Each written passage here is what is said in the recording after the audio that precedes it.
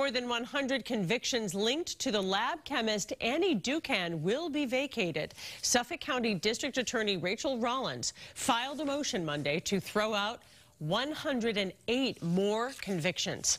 Back in 2013, Dookhan pleaded guilty to faking test results and tampering with evidence at a state lab. In total, more than 61,000 drug charges linked to the lab scandal have been dismissed.